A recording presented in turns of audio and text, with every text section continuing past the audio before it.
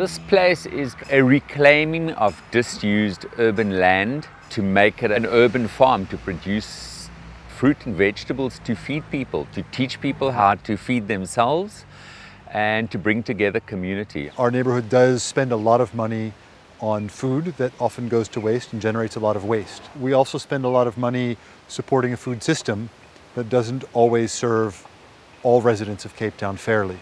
And you have the big food producers who um, are, have the benefits of economy of scale and who bring prices down, but they increase the control and they decide who grows what, when they grow it, when it's harvested, what the price point is, and they introduce a level of, um, of uh, fragility um, to the whole system. So we're missing the middle ground where you have smaller growers, more responsive to the seasons, more responsive to their community, who can help bridge that for people who grow for themselves, but who might not have access to a big grocery store or might not want what's available there or, or for whatever reason that doesn't work for them.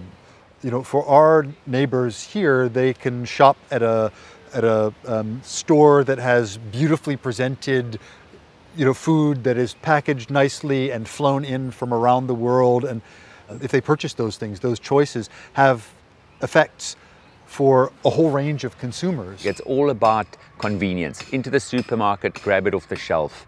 And I, and I think that uh, therefore, therefore these, these chains grow. Um, you know, and, and, and at the end of the day, you tie, you, you tie yourself into that system and uh, difficult to get out of. So a group of people got together and decided why not restore the old bowling green or transform rather the old bowling green into a bowl of greens and create a farm to resemble what was once here before Rangers got divided up in 1901 into a residential suburb with different earths. The market is, has been a fantastic development for us and one we aspired to do, but it kind of emerged on its own organically from the project. One of the early supporters of the project was a farm that produces organic compost. And the soil that we had was terrible because as a bowling green it had been poisoned and fertilized and so on for decades. So they were bringing in organic compost, donating it, but they also grow organic grapes. So they had excess and the farmer brought some, some grapes to sell and the volunteers loved it and they bought a bit of that. Then there was another person who worked at a university farm, kind of an agriculture school, and their garden had a bit of excess.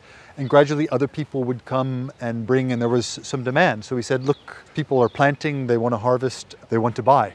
So we started selling a cup of coffee and a bit of this and it just kind of grew there are questions that are puzzling us in the community and these questions we are trying to answer in a very tiny way about what's possible when you get a community mobilized and excited about the possibility of growing their own food people are changing their outlook. They are coming here and they're saying, ah, I'm cutting that out. I'm not buying that at the supermarket any longer. I'm coming here every Saturday or during the week and I'm going to get my salad or my rocket or whatever it is.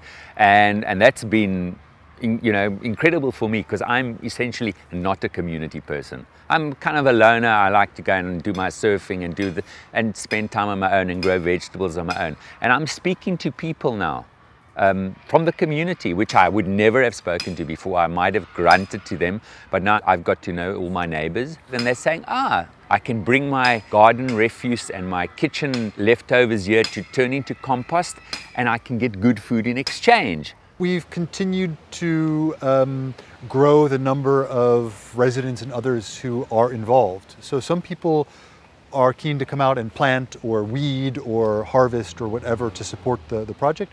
Others might want to be involved in educational projects who are teachers or otherwise want to do that.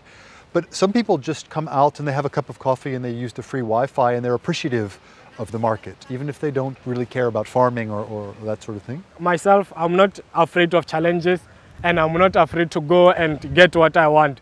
But it, uh, this farm has increased more of my value and has made me realize how good am I networking with people and talking to people and expressing my views.